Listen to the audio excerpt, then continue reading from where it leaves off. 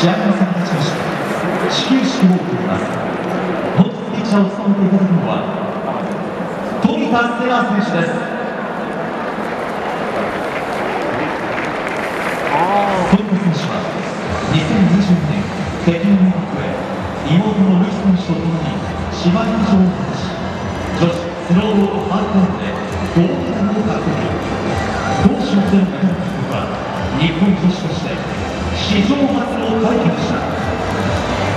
ルイボの背番号は北京オリンピックでの絶景番号となし6で登場です。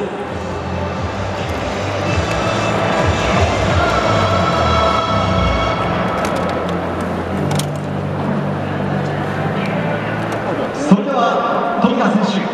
お願いします。